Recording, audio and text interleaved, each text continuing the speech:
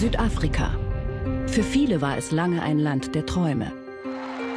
Nelson Mandelas Wahl zum ersten schwarzen Präsidenten machte es zum globalen Hoffnungsträger. Doch seitdem ist einiges zusammengebrochen. Das ganze Land wird ausgeplündert von den eigenen Politikern. State Capture nennt man das. Kaperung des Staates. State capture is organized crime. And in organized crime you have a whole syndicate. Im Zentrum der Plünderung Staatskonzerne wie der Stromproduzent Eskom. There were at least four different crime cartels operating in Eskom. Die Folge? Im Land gehen die Lichter aus. Und Widerstand ist sehr gefährlich. It's much easier for these well-connected individuals to simply have you murdered.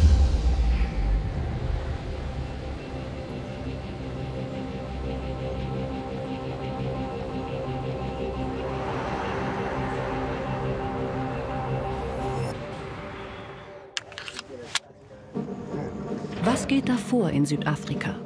Wie konnte das Land in solch eine Lage geraten? Wir gehen auf die Suche nach Antworten. In Sharpeville, südlich von Johannesburg, treffen wir auf eine Bürgerwehr. Freiwillige, die etwas eigentlich Selbstverständliches schützen. Ihre Stromversorgung. main reason why we were here is cable theft. Every after a week, the cable has been stolen. Then we decided we should do this. Das Starkstromkabel dieser Anlage, das die Gemeinde versorgt, besteht aus wertvollem Kupfer. Immer wenn kein Strom fließt, kann das Kabel gefahrlos durchtrennt werden. They remove those big bricks there, concrete bricks, so that they can be able to, to break it and then go straight to the cable. Der marode staatliche Stromversorger Eskom muss immer häufiger den Strom abstellen, landesweit. In der Dunkelheit beginnt die Stunde der Diebe und Räuber. Sometimes your wife is at work. When she comes back from work, you come to the substation. You leave your family there. But your concern is, it is also dark there at home. Thieves can come now to my place. Uh, as the head of the family to protect my family, here am I, protecting Eskom property. Die Männer vermuten kriminelle Eskom-Angestellte hinter den Diebstählen. Ihr Einsatz ist gefährlich, denn in Südafrika wird manchmal schon für ein paar Cent scharf geschossen. If we die, we die for our community. We are just a concerned resident. We love our community because our government doesn't care about us. Wenn der Strom wieder eingeschaltet wird, sind die Männer am Ziel. Das Kabel ist wieder durch Starkstrom geschützt. Für heute. Jede Schicht endet mit einer Warnung an die Gegner. We're not gonna stop now. We are still gonna do it. This is ours, and nobody's going to steal that cable. Commander's morning. Commander's morning. Ganz Südafrika leidet seit Jahren unter einer massiven Stromkrise. Nahezu täglich wird der Strom abgestellt, von dem, der ihn eigentlich liefern soll, dem einzigen Produzenten des Landes. Seit 2008 gibt es Stromausfälle mit Ankündigung. Und das in Afrikas modernster Volkswirtschaft. Load Shedding nennt das der Konzern Eskom, kontrollierte Entlastung des Netzes. Noch nie war die Situation so schlimm wie 2023. Bis zu zwölf Stunden am Tag mussten die Menschen ohne Strom auskommen, zu Hause und am Arbeitsplatz. Doch sind überlastete Netze der einzige Grund für die finsteren Zeiten?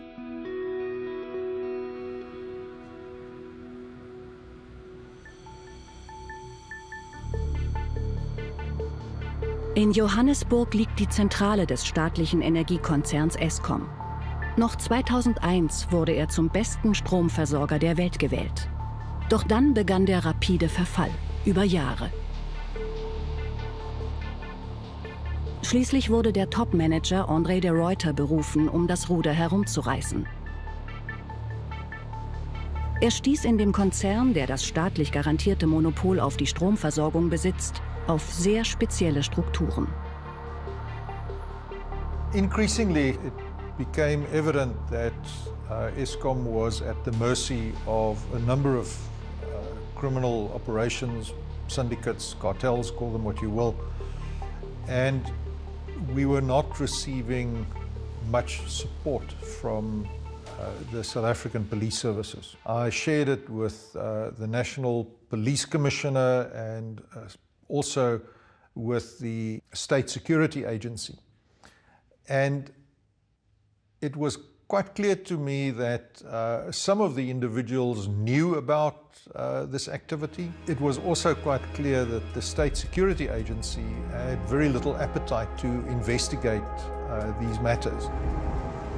Dieser Widerstand gegen echte Ermittlungen legte für de Reuter nahe, dass auch hohe politische Kreise in die kriminellen Machenschaften involviert waren. Er selbst lebt und arbeitet heute in den USA. In Südafrika fühlte er sich nicht mehr sicher. Auslöser dafür war ein dramatisches Ereignis, das sich im Dezember 2022 hier in der Chefetage von Eskom abspielte. Der Reuter bat seine Sekretärin um einen Cappuccino. Aber die Kaffeemaschine war defekt. She then came back and said, no, no, no, the machine was fixed. There were, there were a couple of people there and they had fixed the machine. Here, here is some, uh, some nice cappuccino for you. And uh, the milk on the cappuccino was, was a bit different than normal, but apart from that, uh, I noticed nothing strange. But after about 20 to 30 minutes, I started feeling very peculiar. Um, I started feeling very shaky. Um, I was very nauseous, put me in a car, uh, drove me at breakneck speed to the clinic. Diese schnelle Reaktion seiner Bodyguards war entscheidend. Der Reuter hatte Glück im Unglück, denn es war nicht nur eine erstklassige Klinik in der Nähe, sondern zufällig auch ein Vergiftungsexperte. Der stellte sofort die richtige Diagnose und rettete so de Reuters Leben. Subsequent tests that I had conducted by uh, an independent forensic um, expert, again, because I, I was not satisfied with the way in which the police conducted the investigation, confirmed that not only uh, did I have elevated cyanide levels, but also insecticide. And uh, someone who, who, really knows about this stuff uh, told me that this was very typical of the way in which the Russians conduct their, their poisoning. Jetzt gab es keine Zweifel mehr. Er war ins Visier mächtiger Feinde geraten. Als Reaktion wandte er sich an einen unabhängigen Fernsehsender, um seinen zentralen Verdacht öffentlich zu machen. Is ESCOM a, a feeding trough, if you like, for the ANC? I would say the evidence suggests that it is. Das Interview schlug ein wie eine Bombe. Der Reuter musste auf der Stelle seinen Job quittieren. Er tauchte unter und verließ das Land. Eine Geschichte wie aus einem Mafia-Roman.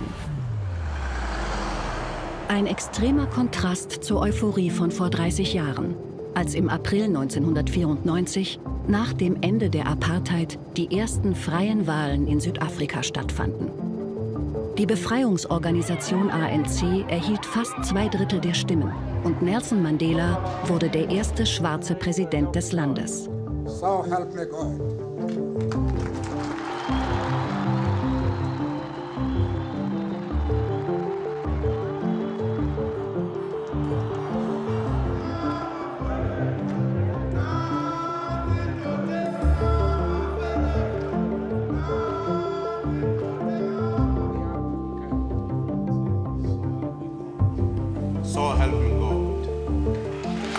Präsident Jacob Zuma, gewählt im Jahr 2009, verstand sein Amt hauptsächlich als Gelegenheit zur Bereicherung, zusammen mit Angehörigen, Freunden und Geschäftspartnern.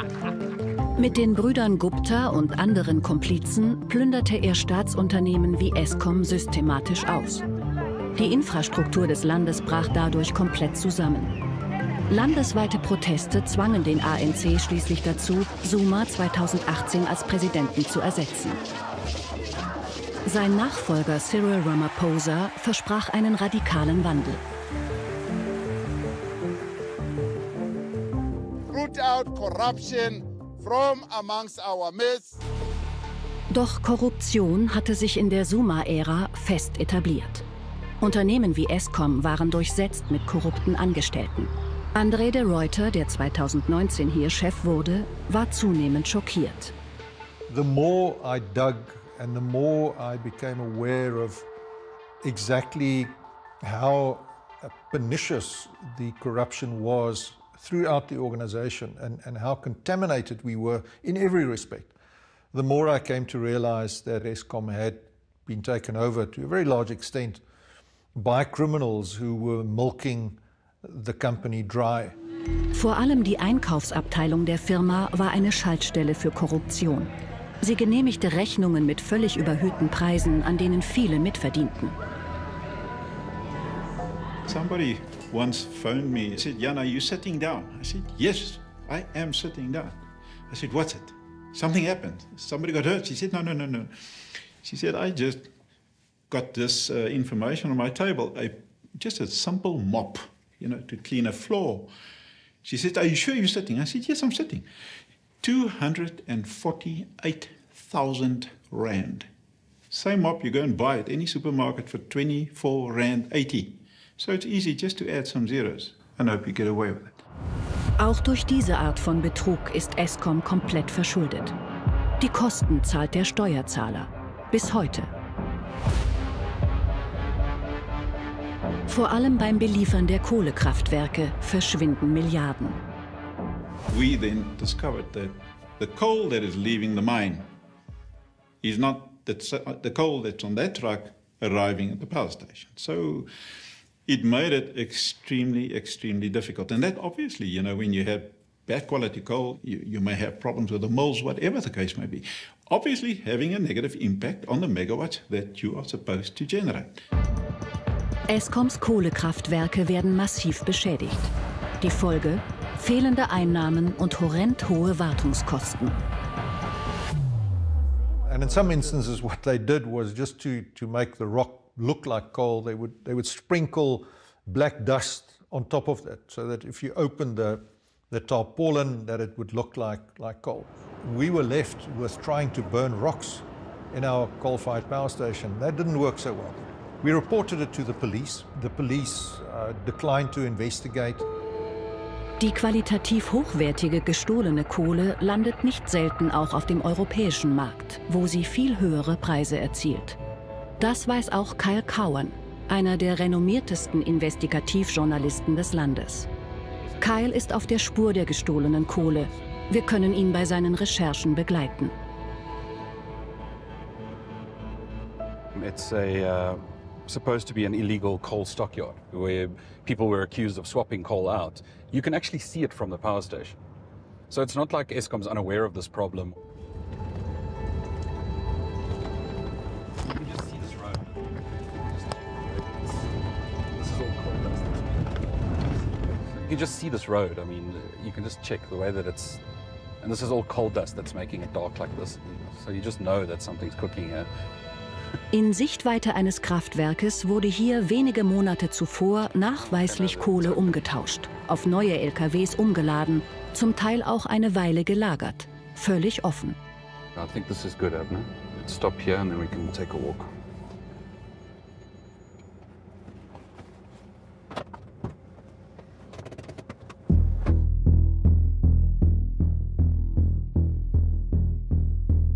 This area is one of roughly 30 places like this in and around the power stations in Mpumalanga.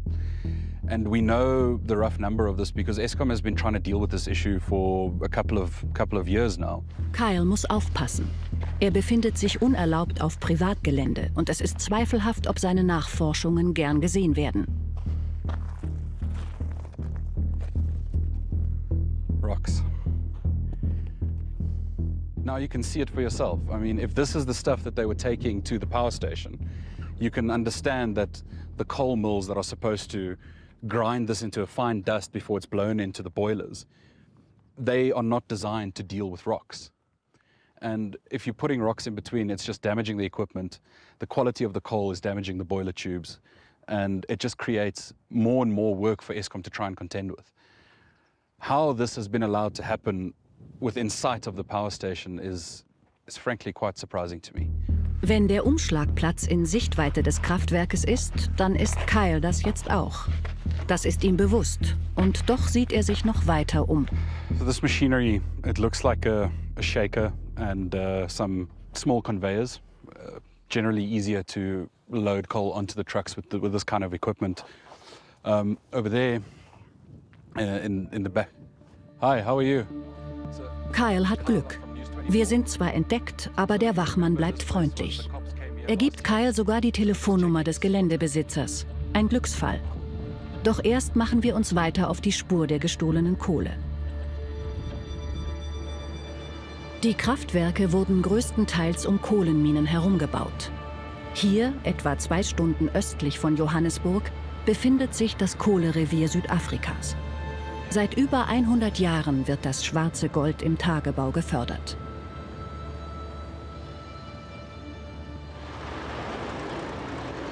Kyle hat uns hierhin mitgenommen, weil er uns mehr über die Zusammenhänge des organisierten Kohleklaus zeigen will. Der Transport zwischen Mine und Kraftwerk ist eine Schwachstelle, die von Kriminellen genutzt wird. Deshalb notiert Kyle jeden Firmennamen der Kohletransporter. There's a common term in South Africa around the, the so-called coal mafia. and the transporting business of that coal. Um, you know, also who sells the trucks to them, who maintains the trucks. All of that is part of that ecosystem. And for me, whenever I'm out here, to understand who the transport companies are that are actually still moving coal around the country is very important because one day I'll be able to build that puzzle and put it together and say, okay, these are the guys who've made the most money, or these are the ones who are pushing for coal trucking to continue. Kyle gehört zum Investigativteam beim Nachrichtenportal News 24 in Johannesburg. Hier macht er sich daran, die Ergebnisse seiner Recherchefahrt auszuwerten. Er ruft den Besitzer des Kohleumschlagplatzes an. Hello? Hi, is that Robert? Yes. Robert, Kyle Cowan from News 24. How are you, sir? Fine yourself. Good, thanks, man. I was out at your property there near Duva Power Station. Der Mann ist erstaunlich gesprächig und erzählt Kyle, dass die Polizei bei ihm war. Er war wegen des Kohlegeschäftes auch mehrfach vorgeladen, aber jedes Mal wurde der Fall wieder eingestellt. Das ist nicht ungewöhnlich in Südafrika. Vieles wird aufgedeckt, aber es gibt keine Konsequenzen. Hm. Das ist interessant. It's, it's really quite interesting because it's been almost exactly 12 months since the police raided this property, and they still haven't haven't been any further arrests. Und wer keine Konsequenzen fürchten muss, der schreckt vor nichts zurück. Im Falle von Eskom kommen immer wieder neue Formen von Korruption und Betrug ans Licht. Zum Beispiel mit Brennstofflastern, was eines Tages einem Kraftwerksmanager auffiel. His surprise, he noticed that the truck didn't offload. And he just went round the power station and went through security again. Now, of course, every time that you go through security over the weighbridge, you are able to present your invoice for payment. So if you do this two or three or four times a night, you get paid three or four times for a volume of fuel that you never deliver. The truck driver then noticed that Mr. Momecha was, was following him and he started to, to race away as fast as he could. I mean, this is really like a, like a bad movie. Uh, the power station manager in his car following this truck to see where he was going. And eventually he succeeded in stopping next to this guy and he asked the, the truck driver, so, so where are you going? And uh, this truck driver then admitted that that he was taking the fuel oil somewhere else. Viermal abkassieren und nichts dafür liefern. The Reuters schätzt, dass Eskom durch solche Betrügereien mindestens 50 Millionen Euro verloren hat. Pro Monat. Wer da nicht mitspielt, lebt gefährlich. The situation eventually got so bad at Tutuka that, that poor Mr. Mamecha had to walk around on the power station with a bulletproof vest and two armed security guards surrounding him uh, because he was, he was legitimately um, afraid of his life.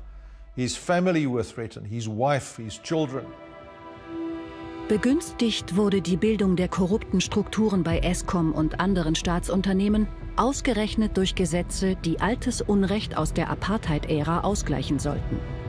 Das war gut gemeint, wurde aber hemmungslos ausgenutzt, nicht nur bei Eskom. South Africa has this policy of black economic empowerment, which essentially means that you, as a state organ, buy uh, on a preferential basis from black owned entities. You cannot buy from a white owned company or from a European company. This is, this is in the name of economic transformation. Now, if you are clever, uh, what you do is you, you set up a front company, you set up a middleman. Ein Mittelsmann also, der nur in der Lieferkette auftaucht, um einem Geschäft den staatlich gewünschten Anstrich zu sichern. In einer solchen Funktion kann man märchenhafte Gewinne machen, ohne dafür viel zu tun. Einzige Voraussetzung, man sollte schwarz sein und gute Kontakte haben. Am besten in die Politik. The one lady who was allegedly involved in this was a senior person in our procurement team. And on, on an evening in a, in, a, in a local pub, she was heard to say, if this field oil comes through, I can finally retire. The total value that we estimate was uh, funneled just on this one contract was in the order of about uh, 20 million euros. The company in question that uh, made these transactions uh, was also a donor to the African National Congress, uh, which of course did not hurt its cause.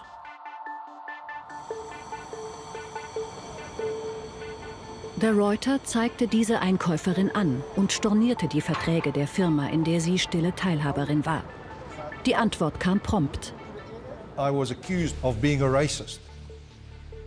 So uh, I then had to defend myself. I was completely exonerated, and in fact, the advocate in question said if I had not acted in the way that I did, I would have been in dereliction of duties.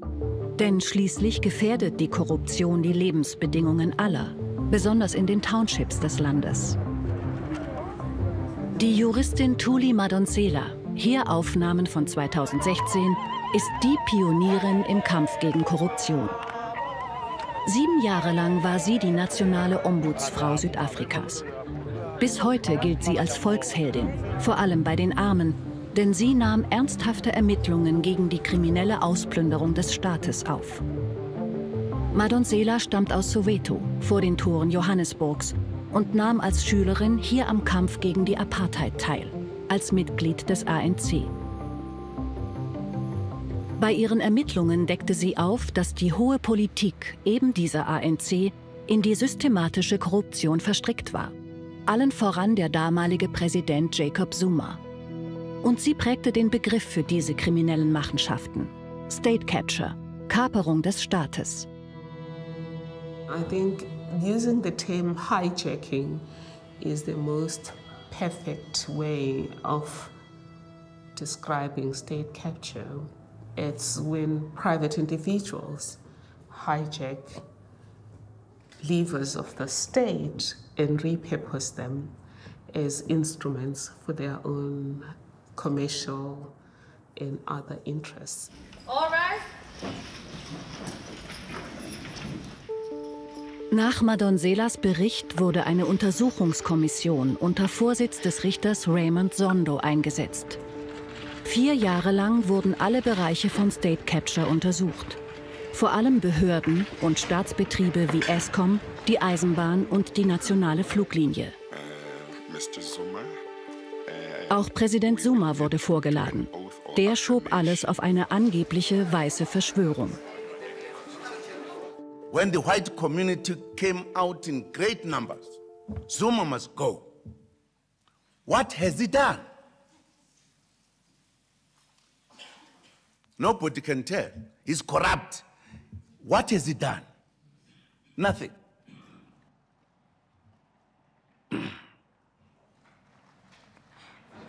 Im Juni 2022 veröffentlichte die Kommission ihren Abschlussbericht.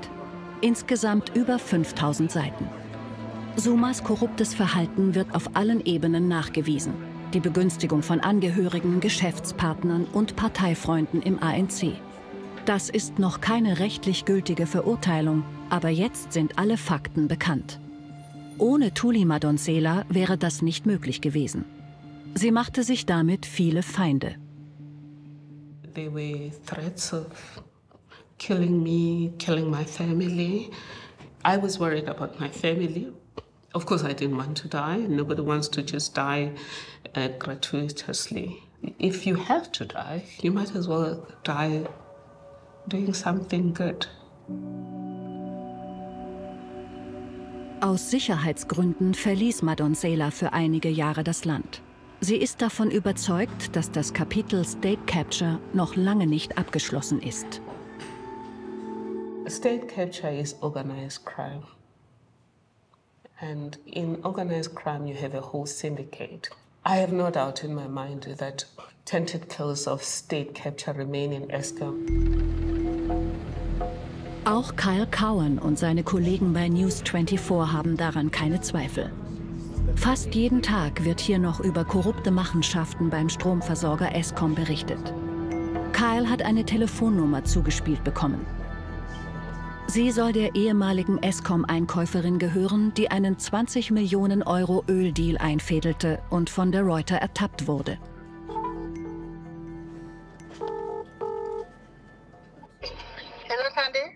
Hi, Miss Mara. It's Kyle Cowan from News 24. How are you? I'm well, thank you. How are you?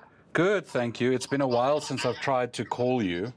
And um, I would like to just follow up with you whether you'd be willing to talk a little bit more about uh, Econ Oil and ESCOM now. No, not really. It's five years ago Natürlich gibt die Dame keine Geheimnisse preis.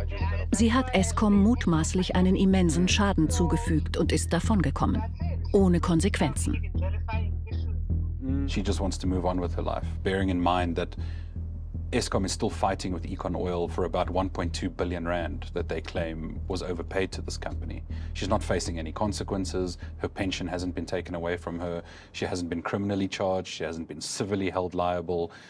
There's just nothing happening against her. And what she neglects to say is that in the days when these charges were going to be put in front of her, she just left. She resigned. And she left ESCOM, and now she can just get away with it. Das korrupte Netzwerk bei Eskom scheint nach wie vor zu funktionieren. Es wird offenbar immer noch gedeckt, auf höchster politischer Ebene. Selbst die mutwillige Zerstörung von kritischer Eskom-Infrastruktur hat System. Auch hier verdient jemand, der neues Material liefert, Reparaturarbeiten macht und völlig überhöhte Rechnungen stellt. All das geht auf Kosten der Bevölkerung, die mit fast täglichen Stromabschaltungen leben muss. Vor 30 Jahren machte Eskom Milliarden Gewinne. Heute hat der Konzern über 20 Milliarden Euro Schulden, auch durch Sabotage. Bei der renommierten Sunday Times beschäftigt man sich ebenfalls nach wie vor mit den Betrügereien bei Eskom. Sabelo Skiti ist der Investigativreporter der Zeitung.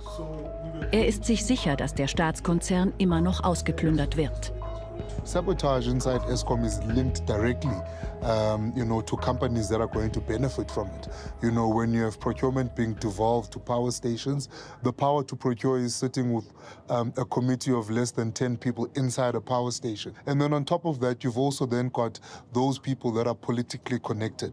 So these are the, you know, companies that are close to either government ministers or close to senior politicians in the African National Congress. Sabelo nimmt uns mit zu einer Recherche, etwa zwei Stunden südlich von Johannesburg. Part of a story that I've, you know, started working on long term. It's an investigation into, um, you know, the syndicates that, you know, one of many uh, that are literally milking ESCOM dry. Um, these guys have been able to get a hold of um, what we call ghost vending machines. Um, so that those are machines that produce um, literally those cards where uh, you get tokens for electricity. So for guys that have prepaid meters in their houses, So wie es in Europa Prepaid-Handydaten gibt, gibt es in Südafrika auch Prepaid-Eskom-Strom. Man kauft eine bestimmte Menge Strom und bekommt einen Nummerncode, um den Strom freizuschalten. Einzelne kriminelle Syndikate sind an die Geräte gekommen und an die Software, die die Nummerncodes generiert. Damit verkaufen sie Strom zu Schleuderpreisen auf dem Schwarzmarkt. Sabelo hat ein abgelegenes Gasthaus angemietet, um vertrauliche Gespräche führen zu können. Dort treffen wir einen Privatdetektiv, der früher für Eskom intern ermittelte.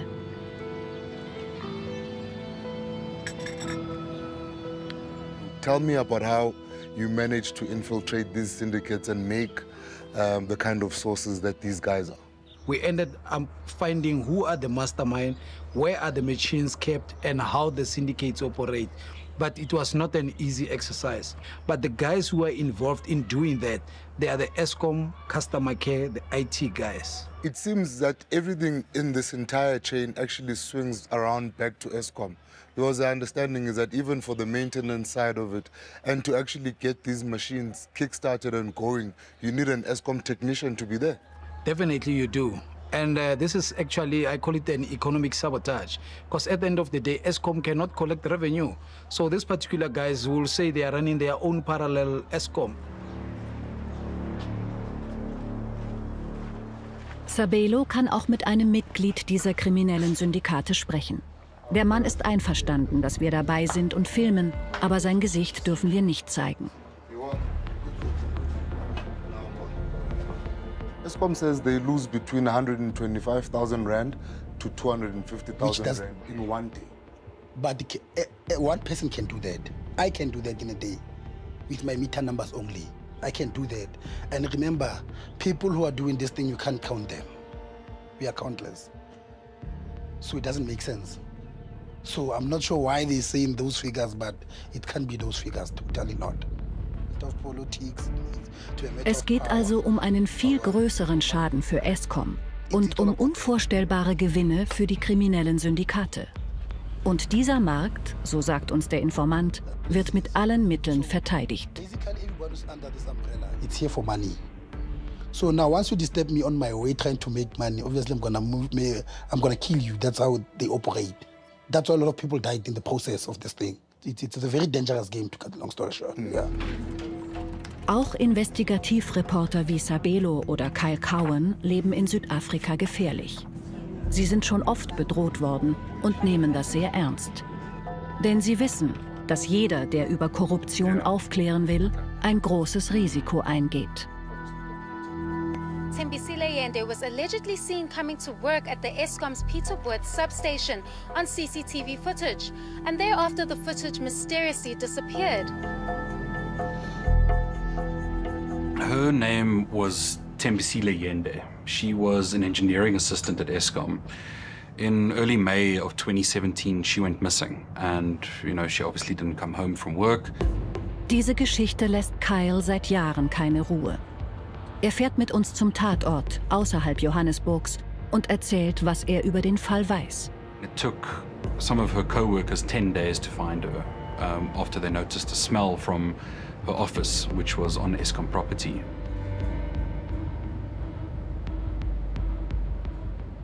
They found her inside the office, inside some bags. She'd been murdered. It emerged later that she'd actually been strangled and hit over the head. You know, it's it's quite a sad story because she was she was young, she was in her twenties, and her family has never really received answers. There are there is some speculation that Tembisile was about to reveal an illegal copper theft syndicate that this other ESCOM employee was allegedly involved in.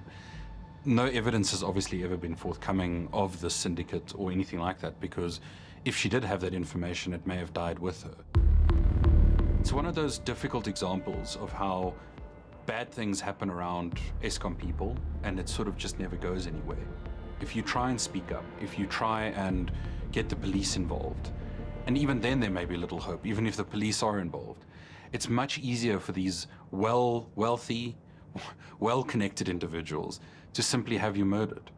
And that way they can carry on stealing And very quickly, because there are so many murders in South Africa, your story may be forgotten. Der Mord an Tembisile Yende wurde als Unfall deklariert. Alle Spuren führten zu Eskom. Zwei Jahre danach wurde André de Reuter Chef des Unternehmens. Um das gesamte Ausmaß der kriminellen Unterwanderung herauszufinden, beauftragte er private Ermittler.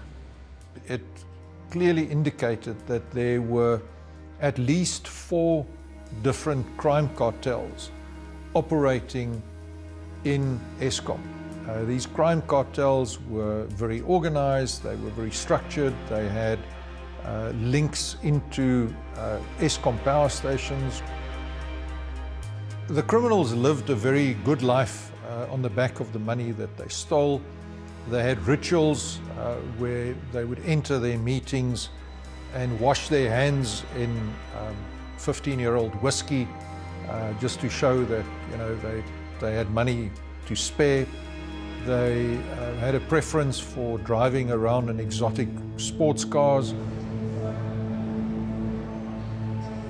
Was im System ESCOM über Jahre zugelassen worden war, nannte de Reuter im Fernsehinterview nach dem Giftanschlag auf ihn klar beim Namen. Non-legal definition of treason is if you take money to do something that is to the detriment of the state. So there are acts of treason going on on a daily basis in Mpumalanga and state security are just missing in action. Ein massiver Vorwurf auch gegen die Politik bis hin zur Regierung. Der ESCOM-Chef der Reuter ging damit ein beträchtliches Risiko ein. I was told by my security advisors that there was an elevated uh, threat to my life and that if possible I should try and leave the country uh, as quickly as I can. Nach seinem vergifteten Cappuccino wusste der Reuter jetzt, womit er rechnen musste. In einem Johannesburger Vorort hatte er seine Flucht schon vor dem Interview geplant, wie uns sein Schulfreund und juristischer Berater Clive van der Spoy erzählt. We arrived at uh, the airport here in Johannesburg and from here flew with a private jet to Cape Town where under strict private security we ended up in a safe house. I had no idea where we were. And their arrangements were made for him to go to the airport minutes before the gates open to book in and disappear to, it turns out, the United States. And so he was very paranoid at that point, and with hindsight, I think maybe with good reason. Wearing my dark glasses and my baseball cap, uh, that was the extent of my disguise, unfortunately. I know that people say maybe he overreacted, but subsequent events have shown that probably he didn't. Nach der Reuters Interview und seinem Untertauchen herrschte in der ESCOM-Zentrale Aufruhr. Schnell wurde ein Nachfolger ernannt und ebenso schnell wieder verabschiedet. Interimschef wurde dann der langjährige Finanzchef Khalib Kassim. Er betont ein neues Problembewusstsein. What has happened since the Zondo report? We've been working much closer with law enforcement agencies. We've got the South African Police Force, we've got the Defense Force and intelligence that actually at our head office have a site and a control room uh, on our premises and we work with them on a daily basis. Demonstrativ wird bei ESCOM jetzt zu Hinweisen auf Betrug und Korruption aufgerufen. Aber es bleibt offen, wer die möglichen Whistleblower im Ernstfall schützen soll. We've been very clear on how do you protect the whistleblowers, but we can't do it ourselves as ISCOM, right? This is definitely bigger than just us as an organization. Are whistleblowers safe? not at all. Um, not at all. I mean, right now we are a couple of weeks away from when ESCOM was actually trying to hunt a whistleblower. We've got many instances um, where whistleblowers were being killed. In fact, three weeks ago, um, two witnesses were gunned down inside uh, the premises of, of, of a magistrate's court. Kriminalität, Korruption und ganze Stadtteile, die regelmäßig im Dunkeln liegen. Im Jahr 2023 dauerten die Stromabschaltungen bis zu zwölf Stunden am Stück. Was bedeutet das für die Menschen des Landes? Wir begleiten einen Immobilienmakler. Seit einiger Zeit verkauft er zunehmend Häuser von Menschen, die das Land verlassen. The one we're going to see now is the largest private estate, and that's 1.4 hectares private land. Ein Anwesen im Naherholungsgebiet, nur eine Stunde außerhalb der Millionenstädte Johannesburg und Pretoria. In einem kleinen, privaten Naturreservat. Ein Traum. Doch durch die Krise im Land hat es dramatisch an Wert verloren. This house specifically was 23 million in 2016 was the valuation from the banks. With this house now selling for 15 million, which translates roughly to about 720,000 euros. Und das entspricht dem generellen Trend in Südafrika. Der Immobilienhändler hat derzeit viele Häuser von Auswanderern im Angebot. Das gibt ihm einen guten Einblick, wer genau das Land verlässt. I find it's uh, the, the, the middle income to the higher net worth people are leaving. Um, it could be due to uh, businesses that are opening up in different countries, job offers they've got in different countries, but it's mostly skilled workers that would be leaving the country. Aber die meisten Südafrikaner können es sich gar nicht leisten, das Land zu verlassen. In den vielen Townships sind die Folgen der Stromkrise besonders spürbar. Allein 2023 wurden dadurch über 650.000 Arbeitsplätze vernichtet. Kleinunternehmer wie Friseure und Bäcker haben durch die Stromausfälle heftige Einbußen oder sind bankrott gegangen. Ende 2022 lag die Arbeitslosenquote schon bei knapp 33 Prozent. Die Jugendarbeitslosigkeit sogar über 60 Prozent. Bongani Mabuza schlichtet gerade einen Streit in seiner Straße, im Township Katlehong, außerhalb Johannesburgs. Er mag das Lebensgefühl hier.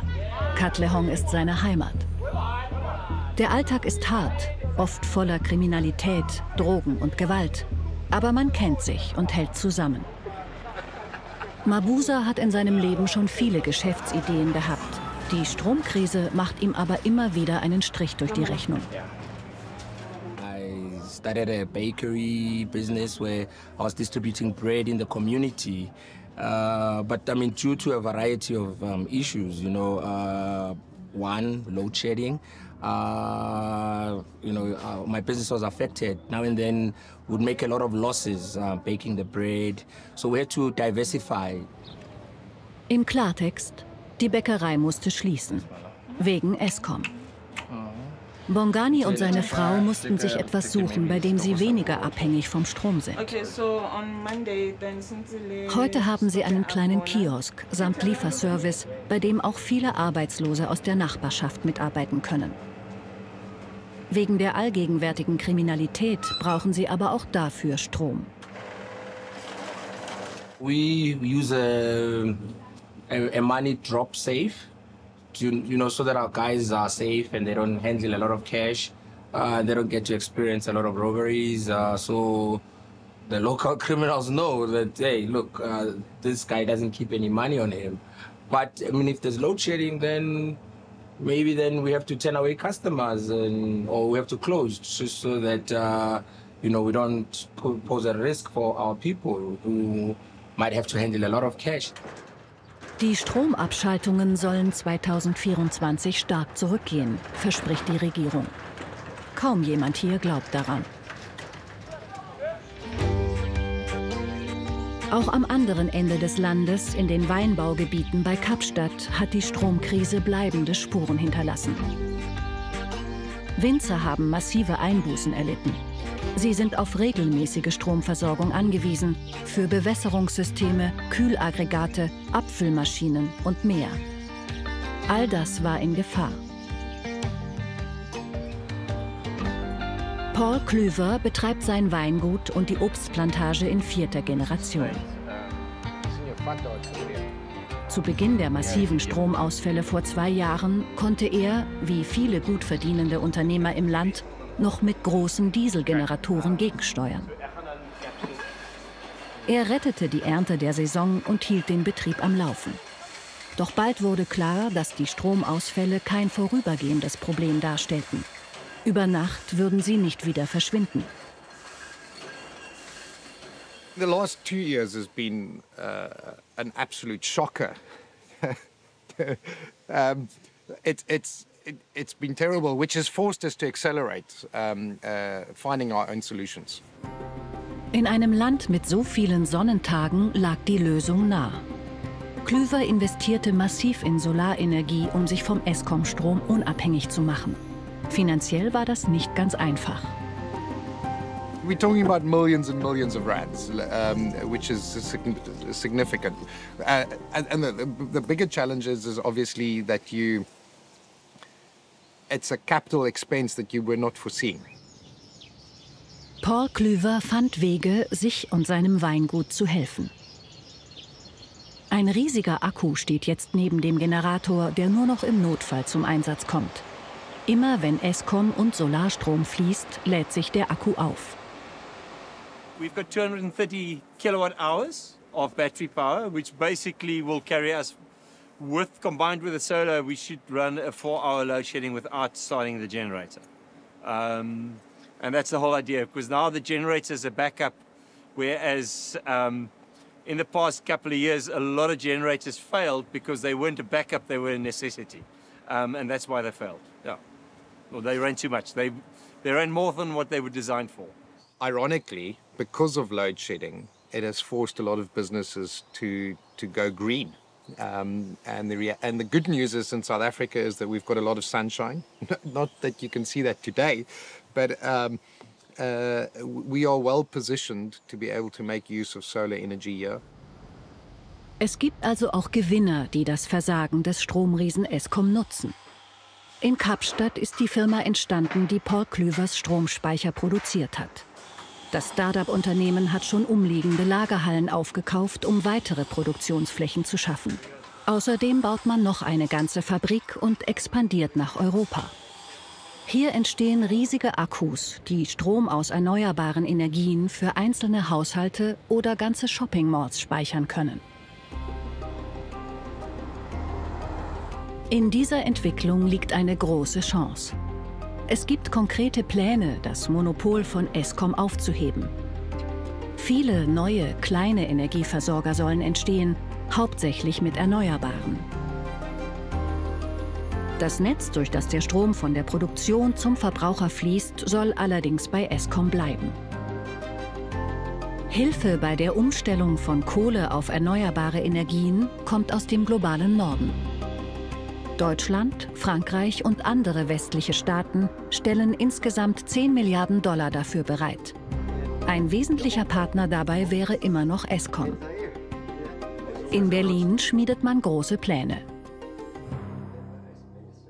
Wir als europäischer Nachbar des afrikanischen Kontexts müssen ein Interesse daran haben, Südafrika auf, zu helfen bei diesem Prozess in eine bessere Zukunft. Das wird schwierig sein, wenn man heutzutage ein großes Projekt mit Eskom abschließt, dann muss jeder, der das finanziert von außen, höchst äh, wachsam sein, was mit dem Geld passiert. Und ich habe aber keine Zweifel, dass diese Nachricht überall angekommen ist. Das heißt, wenn man so ein großes Projekt mit einem Partner wie Eskom macht, dann wird man genügend Kontrollinstrumente einführen, um zu verhindern, äh, dass da Geld ver verschwindet. Zuständig auf deutscher Seite ist das Bundesministerium für wirtschaftliche Entwicklung. Staatssekretär Jochen Flassbart, einer der Initiatoren des Projektes, weiß, dass kein Weg an Eskom vorbeiführt.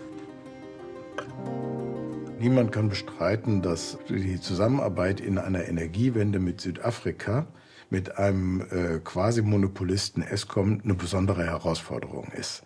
Das sind auch Politikreformen, ein ganz zentrales Element dieser Partnerschaften, äh, ohne die es ehrlich gesagt auch wenig Sinn machen würde, äh, in die Zukunft zu investieren, wenn man nicht äh, das auf der Basis von vernünftigen Politikreformen tut. Tatsächlich haben in Südafrika mittlerweile viele den Wunsch nach Veränderungen. Auch Akulile Notiwala, ein Nachwuchspolitiker. Er möchte einen Neuanfang, weg von den korrupten Strukturen der ANC-dominierten Jahre. Der Slogan seiner jungen Partei lautet 2024 ist unser 1994. 30 Jahre nach der historischen Wahl von Nelson Mandela hofft man auf einen neuen Aufbruch. I feel like um, people have been looking for an alternative, and this is why we do like these types of things because we are new, and people haven't. Not everyone has has seen or heard about us. We're trying to encourage a lot more young people to come out and vote because it's it's our future. Dafür wird die neue Partei Rise Mzansi bei den Wahlen in diesem Jahr antreten. Die jungen Aktivisten und Freiwilligen wollen sich ihr Land zurückholen, die Plünderung und die Ausbeutung beenden. Im Township Kayelicha, eigentlich eine Hochburg des ANC, machen sie auf sich aufmerksam. This is a very vibey place, a very vibrant place, primarily for black South Africans, black middle class, who just want to have fun after work. We also do what we call organizing through joy. And so what we do doesn't have to be boring. So it's very great, it's fun, there's receptiveness uh, in terms of people wanting to engage with us.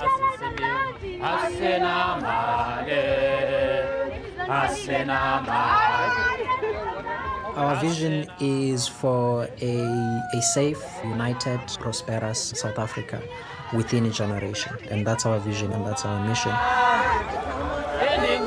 We have a failed and failing, continuously failing um, uh, elected government. And so it's that change that is needed. We need to make sure that we get people to have the power to remove people that are corrupt, to remove people that abuse power.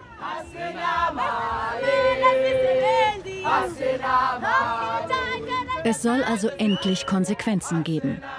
Denn dies scheint die einzige Möglichkeit, State Capture, die Kaperung des Staates, zu überwinden. Die Hoffnung ist groß, dass dies 2024 beginnen kann.